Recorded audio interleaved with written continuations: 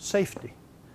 Now I know that I could kind of say, okay, time out, and I could pick someone from every pay grade represented here in the, in the theater today and say, here's the mic, come on up on the stage, give us the holiday safety stand down sound bites. And you could do it.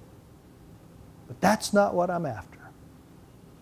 I don't want you to repeat the sound bites or go, yeah, yeah, yeah, I've heard it. I want you to grab a hold of this thing and internalize it because it's important. It's important because this is about you. And this is about us, our shipmates. So let's jump for a minute off of that. Hey, take time to say attaboy and girl. Well, take time to interact with your shipmates over this holiday season. It's no mystery. We don't have to dance around it or be sensitive about it.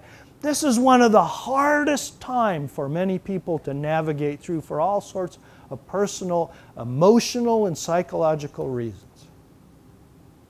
And in this time, unfortunately, the disaster of suicide occurs more frequently than at other times of the year. Don't let that happen to us. Take personal interest in yourself and seek help if you need it. There's no shame in that. We've been talking about PTSD for a, more than a decade. Doesn't matter what the cause. It could be PTSD, it could be marital problems, it could be financial problems, it could be that you didn't get the rock'em sock'em robot present that you wanted. But take that time to pay attention to your shipmates and stop and ask them about, are you okay? You don't seem as happy as you normally are. There is no deadline and nothing that we were working on that is so important that we don't have the time to invest in each other and our needs and our well being. So please take that to heart. There will be a lot of traffic during the holiday season as Europeans move to be with their families.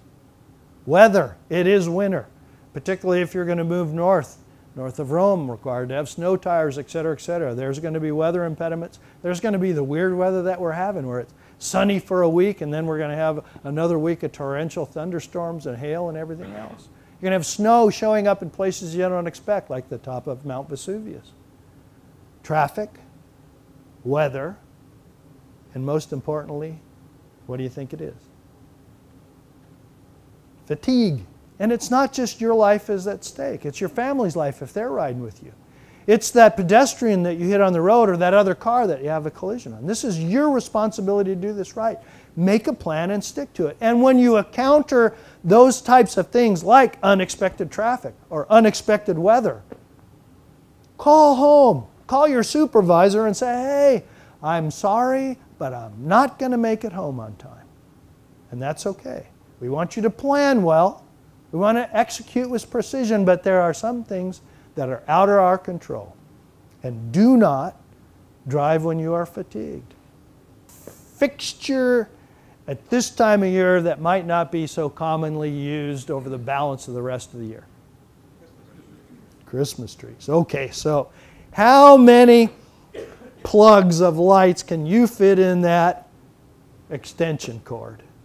Electrical safety. We do it well on the ship, do it well at home.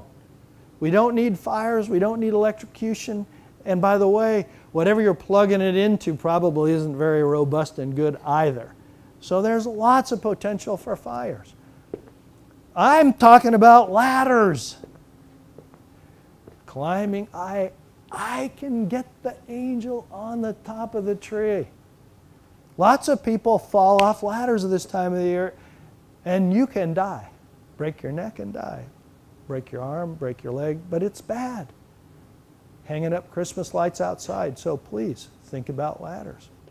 Your plan probably involves driving, and almost all social events in Europe involve the opportunity to drink. I would be remiss if I didn't say, make a plan. Make a plan which says, I'm going to have a designated driver. Make a plan that says, well, I'm not intending to drink, but if I do, I am courageous enough to call up a friend who I know is not drinking and say, Come and get me. Make a plan which says, if I kind of blew my plan, then I'm going to call a cab or I'm going to stay overnight in that place where I am. make a plan and stick to it. This is about you and me, about you and you. This is about us. This is about us as human beings coming back after a holiday season that should be a joyful opportunity. A chance to rejoice on what we've accomplished in 2013. A chance to celebrate the camaraderie that we enjoy. A chance to see family and friends. But you matter.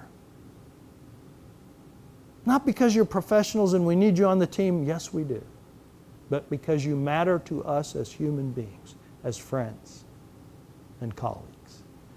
And so, my plea to you is that as we